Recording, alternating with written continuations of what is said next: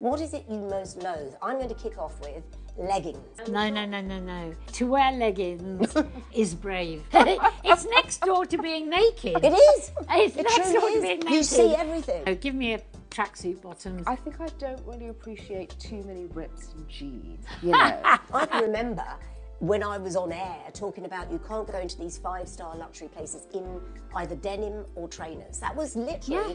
a few years ago. Now it's status.